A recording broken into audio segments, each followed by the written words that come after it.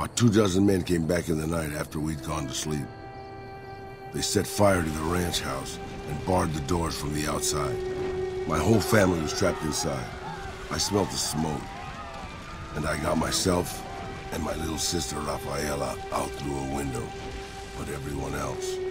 My parents, my grandmother, my two brothers, and two of my sisters all died. Crime was bad before the war, but now it was a nightmare. We were living like scavengers, scraping by on what little food we could find, always looking for medicine for my burns. And then, of course, the radiation started to kick in, turning me into this handsome devil you see before you. Rafaela laughed. For the first time since the bombs had fallen, I started to build up a legend. Sometimes it headed off trouble, but most of the times it just started more. Young punks looking to prove themselves would come looking for me, but my eyes were sharp and my guns were quick. For a while, it seemed like we might even survive there, until... until Rafaela. She went out to find some food one day. I was sick, so I stayed at our camp. I guess it must have been the beginning of radiation poisoning. Anyway, it was supposed to be safe, but some raiders happened to pass through where she was scavenging. I won't speak of what they did to her. When I found her body, the only way to recognize her was this funny little scar on her knee from when she was a little girl. I led my whole family down. First the ranch, now Rafaela. I was the last Tejada. I guess maybe I went a little crazy then. I took my guns and went back to that market. I didn't have many bullets, but I had enough.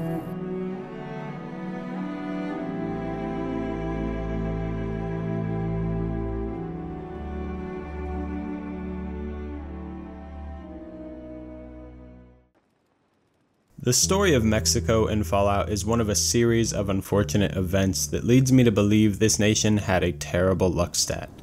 The events occur on a national and personal scale from the pre-war to the post-war. The world of Fallout has its origins deeply tied to the American Southwest, which has unsurprisingly led to the mention or involvement of Mexico in some way over the years, often in the form of NPCs and mention of the remains of Mexico. To get to the core of the idea of Mexico and the story of Fallout, we have to go back to the times before the bombs fell and Mexico was still a nation. To begin Mexico's series of unfortunate events, disaster strikes when a devastating earthquake hits their capital, Mexico City, in the year 2042. To put that into perspective, because who cares about the year just for the sake of saying the year, the bombs fall in 2077, putting us 35 years out from the apocalypse. This is likely a universe parallel or reference to the actual 1985 Mexico City earthquake, which occurred 200 miles away from the city on the Pacific coast. The city sits upon a drained lake bed, causing it to be particularly susceptible to the damage caused by an earthquake. It did not help that this was a magnitude 8 earthquake, with the largest ever being recorded at 9.5. In 1985, over 400 buildings collapsed with thousands more damaged, electricity going out in the city, phones rendered inoperable, traffic lights non functional, and a government that was refusing to deploy an emergency plan. The final death toll was estimated at a grim 10,000. Other estimates and speculation object to that number, assuming it was much higher. Tens of thousands more required medical treatment that was difficult to come by due to the vast damage done to the buildings.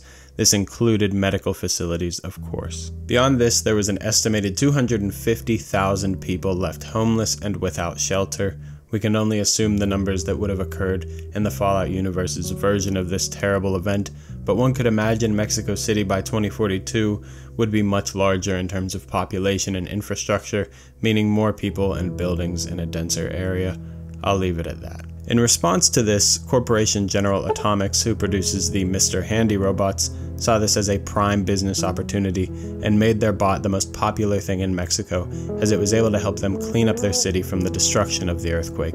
Sales went through the roof. By the way, General Atomics had partnerships with Robco Industries and the United States Armed Forces.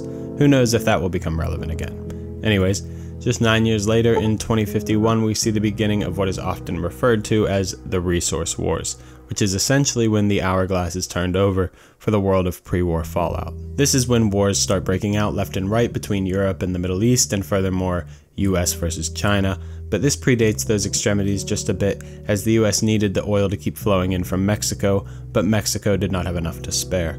Mexico was an easy target for the US, who brutalized them with sanctions, much like they use as a weapon today. They essentially pulled strings and made moves from a distance that began to wreck Mexico internally. They then used that instability as an excuse to invade them on some sort of moral grounds as the world police and friendly neighbors. In reality, they were a parasite sucking the blood out of a struggling nation, one that was struggling especially so on their behalf. Now, this is not an annexation. The military goes in, captures the oil refineries, and keeps the oil coming into the US. On the world stage, the US is not incorporating Mexico and its states into itself. It simply invades and maintains control over one strategic aspect of their infrastructure. On the other hand, Canada would be annexed and they would start to be incorporated into the greater United States, a topic for another time perhaps. The invasion would bear little fruit for the US, and a documentary would be released showing Texan oil fields sucked to the bone, dry and empty with dormant pump jacks gathering no oil. Imagine this kind of documentary releasing in a time of speculation and rising prices for civilians. You can imagine politicians downplaying the issue, calling articles discussing the topic hyperbolic shock pieces, meant to manufacture fear. Then, from out of nowhere, this documentary releases from footage captured in restricted lands that look alien because of how manipulated and mistreated they have been.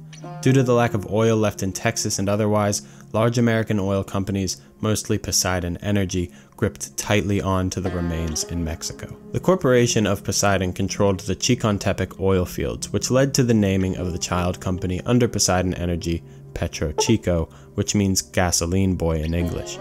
The branding labeled it as Petro Chico, un amigo de Poseidon Energy, gasoline boy, a friend of Poseidon Energy. How fitting is it that the company that is coming in and stealing from the land of Mexico and taking back to the United States brands themselves with a child, a young Mexican boy, and calls that Mexican boy a friend to the parent company. It's a very interesting display of corporate propaganda on the Mexican people in the pre war time of Fallout. Some of the United States and their companies' wrongdoings were reported on by journalists within Mexico. However, one of the more popular articles throughout Latin America was one of an interview with a woman who claimed to be one of Robert House's girls. She said he scanned her brain and dressed her up to make an artificial intelligence based on her. Weird thing to claim, no way. I think the idea behind this detail, which is given to the courier from Raul, is meant to display what the Mexican public might have thought of the rich and powerful in the US and the fascination with someone like Mr. House. Of course, forcibly making an AI out of his lover is interesting to almost anyone, but imagine what the people of Mexico thought, having been invaded by the US and living in its cascading shadow as world power struggles grew more common. Earthquakes, invasions, lessening resources and panic, yet in all the chaos there's this guy scanning brains and living in a totally different world. It was probably cathartic to make fun of him or criticize the excess and absurdity of it, but it was also probably a form of escapism from the stressful realities around them. Unfortunately, on October 23, 2077, much like the United States, Mexico was hit with a giant dose of heavy bombing with Mexico City succumbing to some of the worst Mexico would receive. Despite surviving earthquakes before, the city would be left in radioactive ruin, and the country would be left in lawless chaos and disarray. Mexico was not hit as badly as the US, but it was also not known to have had any vaults from Vault-Tec or otherwise. Raider groups would form, and many Mexicans would flee into the former United States. I am sure they saw varying degrees of success, considering they were running from one wasteland into another. If you thought Mexico's problems would stop after the Great War and collapse of society, think again. Mexico has another chapter in its series of unfortunate events where Mexico's western beaches would become soaked in toxic radioactive waste that led not only to severe ecological damage that earthquakes and nukes hadn't already caused, but also began mutating the sea life left in the area. What caused this, you might ask? Well, it was the result of repeated waste dumps from Control Station Enclave that would drift down the Pacific coast of California into Mexico's beaches. The enclave is the remnants of the United States government, so it seems Mexico's issues keep coming from the same source over and over and over again. There have also been tales out of Mexico that Night Stalkers and Bighorners have made their way there, but one could imagine if the series ever gets an official entry, they would have much more in the way of wildlife to explore. The Sonoran Desert, an enormous desert that spans across the US and Mexico, near the Mojave Desert, was going to be home to a creature known as the Desert Stalker, which is a mutated version of the real life antlion. The Desert Stalker would burrow up from the ground and drag its prey back down into the earth, a terrifying and suffocating thought. They would also target the weakest of the group first in a systematic breakdown of their prey. This was a part of the cancelled Fallout 3 Van Buren. We also get mention of the real world Mexican states of Veracruz, Hidalgo, and Puebla. Petro Chico slash Poseidon Energy operated in those states, so if we ever get to go to Mexico and Fallout, we can expect to see the remnants of the American corporations in regions like these. And finally, wrapping up the series of unfortunate events from Mexico, there's the tragedy of the Tejada family ranch near the town of Hidalgo, Mexico, Hidalgo is actually a state in Mexico as stated that sits to the northeast of Mexico City, so presumably they were far enough away at this ranch to avoid the devastation suffered there. Raul and his family were on the ranch when many refugees began showing up, largely from Mexico City. They offered supplies at first, but then began to risk running out of food for themselves, so Raul and his father had to arm themselves and demand that the refugees seek refuge elsewhere. The consequence for this action would backfire horrendously, as a group would return in the night and set the ranch home on fire, killing all of Raul's family, aside for himself and his little sister. This left his mother, father, grandmother, three brothers, and two sisters who would all die that night. They survived an apocalypse but just a few bitter souls changed that when they decided that because they could not have the food, no one could. And the Tejada family ranch becomes one more location in Fallout lost to time and war, with Raul and his little sister Rafaela left to wander and survive. I am sure some of you are thinking now, wait, what about Baja? You gotta talk about the Mountain Dew. I have a separate video on that and I'll leave a link below if you're interested. There's a very distinct story and set of mysteries for that particular region, being Baja, California. Upon review, we can see, like many stories in Fallout, Mexico has a brutal series of events occur upon the country among corrupt governments and corporations, war, crime, and natural disasters, but the characters we meet from there, namely Raul Tejada, emit an incredible sense of resilience. I know some fans want Fallout to stay in the United States, but I would love for a Fallout game to take place in Mexico.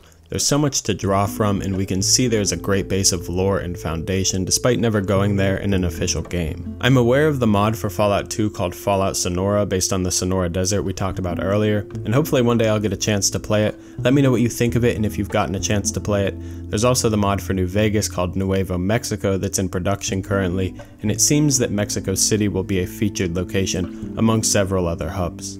Anyways, that's all I have for you on Mexico and Fallout. If you know anything that I didn't say, feel free to drop it below.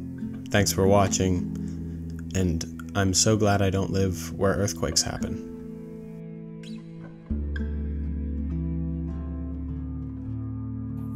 I left everything when I left Mexico. My home, my family, my name, even my face. I know it's surprising, boss, but I wasn't always just handsome. I was always good at fixing things. Some I fixed for the town, some I fixed for other people, some I fixed just for the hell of it. It's a better way to use your hands than killing. About 75 years when she showed up. Prettiest thing you ever saw, boss. Maybe it was just a trick of my senile brain, but I swear she looked just like my Rafaela. Her name was Claudia. She ended up taking work at one of the brothels in town. I never went to her, of course. How could I? But I looked after her in my own way. A tribe came into Tucson one day. More a gang, really. Dirty Dave and his six brothers. They were looking for bullets, and I sold some to them. I figured if I did that, they'd leave town before they tore it up too much. I hoped they'd leave the town in peace. Instead, they decided to stop at Claudia's brothel to take the edge off. I don't know which one of them got rowdy first, but by the time I heard the screams and got my guns, it was too late. They shot up the brothel, killed four girls, and taken Claudia for their sport. I went after Dave and his brothers. They had a head start, but they slept nights. I didn't.